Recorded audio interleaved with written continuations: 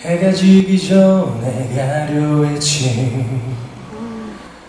너와 내가 있던 그 언덕 풍경 속에 아주 키가 작은 마음으로 세상을 꿈꾸며 그리며 말했던 곳 이제 겨우에는 떠나야 하는 소중한 내 친구여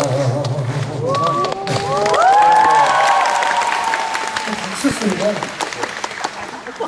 한 번에 이렇게 맞춰주셔야 돼요